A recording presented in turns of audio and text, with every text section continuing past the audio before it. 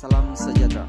Admin sangat terima kasih kepada Anda semua yang sudah support channel admin ini. Kali ini satu berita saya nak kongsikan kepada Anda.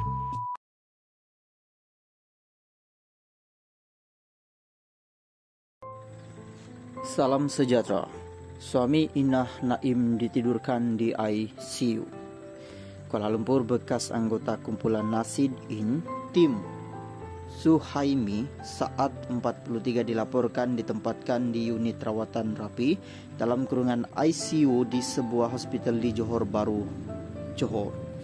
Perkara itu disahkan Ketua Kumpulan Intim Muhammad Zahir yang menzahirkan menzahir Penyanyi itu Sabtu lalu memberitahu keadaan penyanyi itu kurang baik dan sedang ditidurkan. Suhaimi, Suhaimi sakit dan sedang mendapatkan rawatan, jadi saya mohon orang ramai agar mendoakan dirinya sembuh. Dia dimasuk dia dimasukkan ke hospital kira-kira seminggu lalu. Namun mengenai puncak penyakit saya kurang pasti katanya.